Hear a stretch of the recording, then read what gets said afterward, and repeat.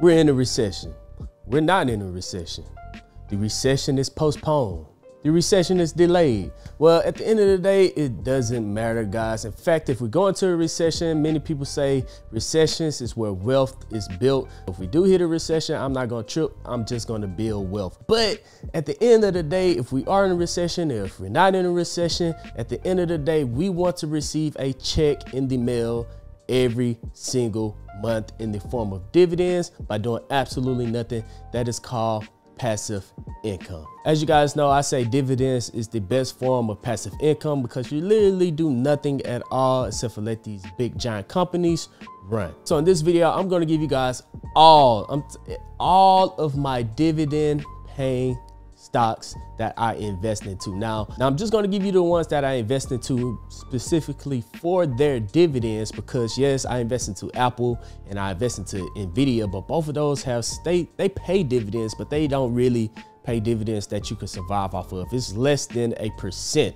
It's less than a percent that they pay out in dividends. So I'm not going to be focused on um, Nvidia or Apple or companies like that. Those are my growth stocks. I'm going to show you companies that I'm investing into specifically for their dividends in this video. Every single last one, I'm going to give that to you guys in this video. So make sure you stay throughout the entire video so you don't miss out on any crucial information. But before we dive into all of my stocks, this video is brought to you by Moomoo. Sign up now by clicking the link down in the description. You can receive up to 13 free stocks. That's right, 13 stocks just from signing up for Moomoo. Deposit $100, you get even more stocks. So if you guys want to check that out, I'm gonna leave that link down in the description. You sign up, deposit $100, get your free stocks. Once you get them, you could keep them inside the platform and decide to use it or you can sell those free stocks and withdraw all of your money. Guys, it's literally free money. Do not miss out on that opportunity. That's 13 stocks. Also, I'm gonna leave a link in the description with Webull. You sign up with Webull, deposit any amount of money, just one penny if you want to, and you can receive up to 12 free stocks valued up to around $30,000. So do not miss out on free money, guys. So if we do head into a recession, just know that you got some free stock options uh, available to you right here with those links down in the description. But enough talking, let's go ahead and dive straight into this video. Welcome back dreamers, here we are on my Robinhood account. Now I'm gonna give you guys what companies I'm investing into and why I'm investing into each one of these dividend paying companies. Now uh, on Robinhood, my account is at $98,963.35 over the last week, had a pretty good week. And over the last month, had a pretty doggone good month, up 21%. Still recovering over the crash that we had over the last couple of months, heading into a recession. But like I said, I'm not tripping if we head into a recession. So let's go ahead and scroll down to some of my dividend paying stocks. The first one is Clorox, ticker symbol CLX. Clorox produce a lot more things than just um, bleach. They produce, they, they, they have a lot of different items inside their portfolio, even barbecue items inside their portfolio.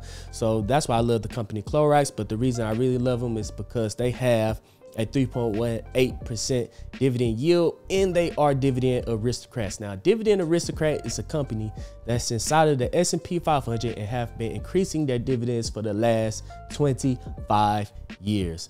Now, with Clorox, they have been increasing their dividends every single year for the last 44 years. So they're very close to becoming dividend kings. In order to become a dividend king, you have to increase your dividends every single year for the last 50 years. So if we do head into a recession, I like investing into companies like Clorox because I know because they're so close to becoming dividend kings that they're probably not going to cut their dividends in the time of a recession because companies like this have been through pandemics, recessions, um, depressions, all types of stuff like that and still have found a way to increase their dividends that year. So I like investing to good quality stocks like Clorox in uh, somewhat recession, not recession, postponed recession. I know at the end of the day, they're going to pay me out their dividends and then they're not going to cut their dividends at all. So that is ticker symbol CLX. The next one is Procter & Gamble. Companies like Procter & Gamble thrive in a recession because they make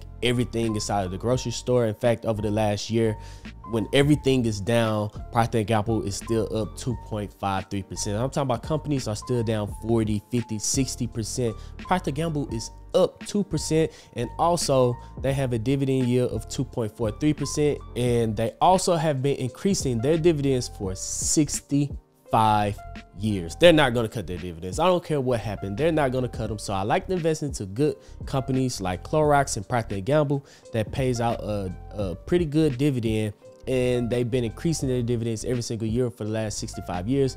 This is something I'm going to pass on to my kids and they can pass on to their kids. And they're going to make passive income every single month for the rest of their life, investing into good quality companies like Procter & Gamble. So with Procter & Gamble being our first dividend king, our second dividend king will be 3M, ticker symbol MMM.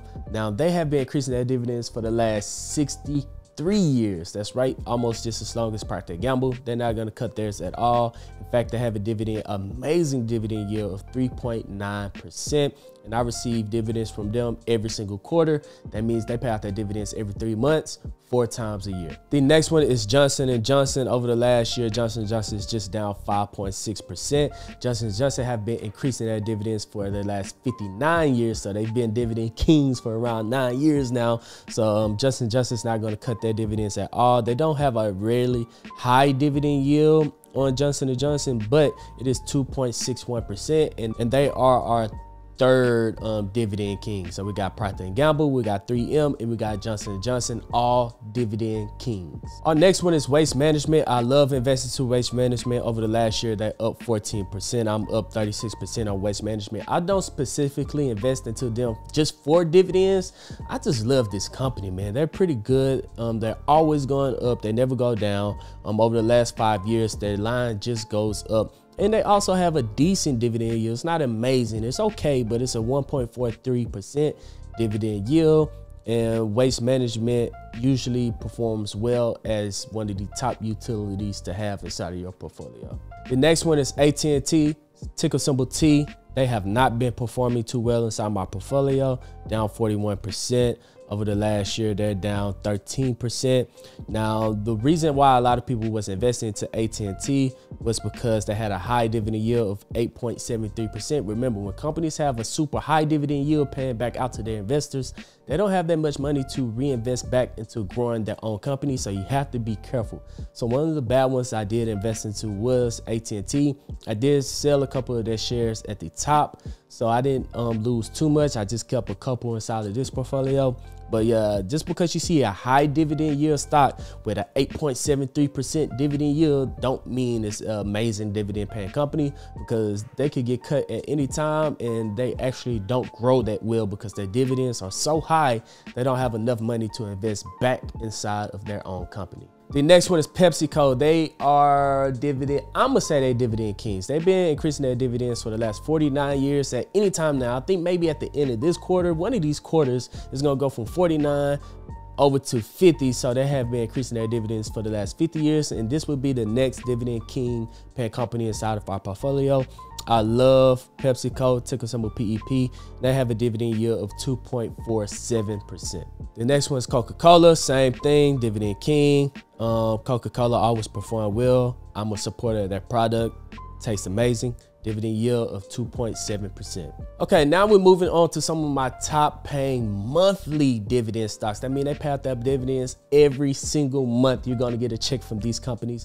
One of the first dividend ETFs I've invested into was SPHD. It is a high dividend, low uh, volatility ETF over the last year. They're up 5.16%. So that means they have many different companies inside their portfolio that have high dividends. In fact, you can look at their sectors right here and you can look at their top 10 holdings that they have inside their portfolio and they have a sweet dividend yield of 3.82% and they pay me out every single month so if we scroll down you guys can see i get paid around $4.25 $4.22 so i get paid around $4.25 every single month just from holding how many shares i have 30 shares of SPHD. Just imagine if I had 300 or 3,000 shares of SPHD. I would receive a large paycheck every single month, and that is amazing. That's why I invest into SPHD. But this is not my best monthly paying dividend stocks. We will get into that. I am up 15% on SPHD. The next one is AGNC. This is a real estate REIT. They invest into real estates. They are required by law to pay out 90% of their taxable income back to their investors through the form of dividends. And this is also a monthly paying dividend stock. Um, I am down a little bit, 11%, but I've made that back in dividends and no time. I own 119 shares and they have a high dividend yield of 11.27%.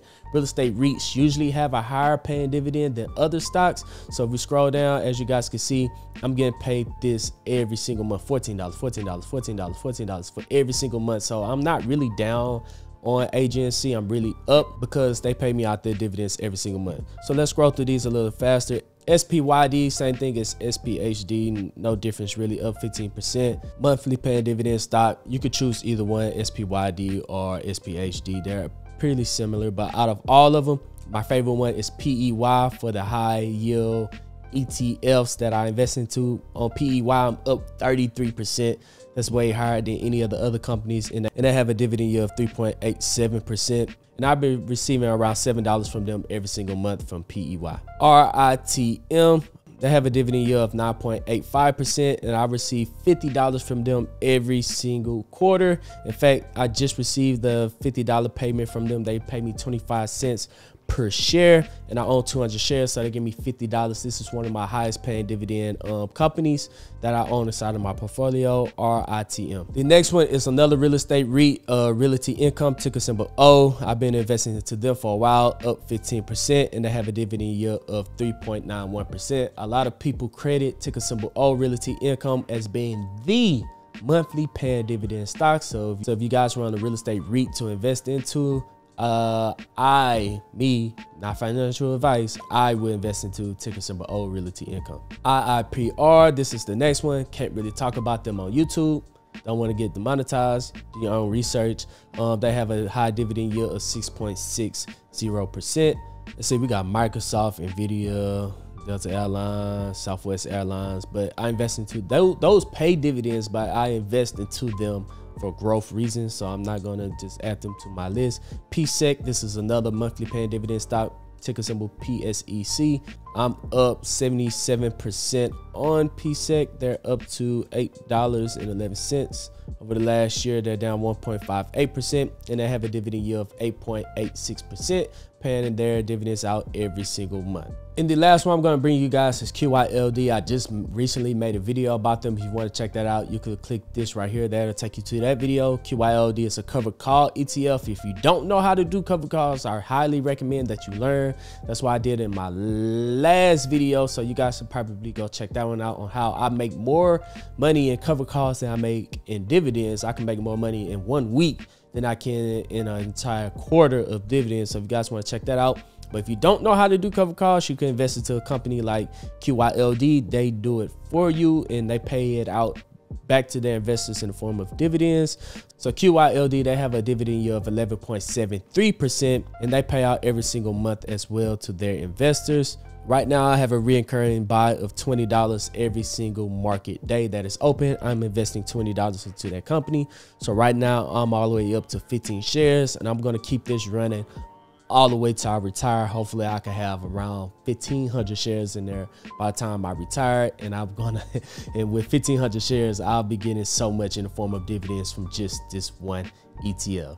And that's it, guys. Since you was wondering what dividend stocks I have inside my portfolio, that is them. That's not all of my dividend stocks. Those are just the ones I invest into specifically just for dividends. And if they're what dividend kings or dividend aristocrats, that's why I'm investing into them. But if you want to know every single time I buy and sell a stock, check out the link in the comment section. That'll take you to my Patreon. The Patreon will take you to my Discord. Inside of the Discord, I post every single time I buy and sell a stock all of my option trades, swing trade, cover calls, and we also have pro day traders in there that post their option trades every single day. And you'll also be a part of a great community of people just like you that want to invest into that financial freedom. So if that sounds like something you want to be a part of, check out that link down in the comment section. But other than that, guys, I've just had to show you guys all of my dividends because I've been getting questions. Hey, show us your dividend, show us your dividend portfolio. Well, there you go. Make sure that you subscribe to this channel so don't miss out on any future videos because I do plan on doing a video where I show you guys my entire portfolio, whether they pay dividends or not.